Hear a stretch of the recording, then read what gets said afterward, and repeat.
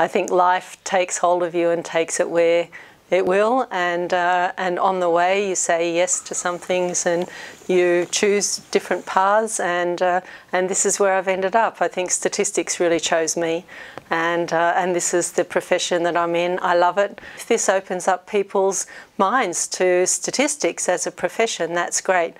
One of the greatest things is when somebody comes along and says, "I didn't know that statistics could do that." Then that's just fantastic.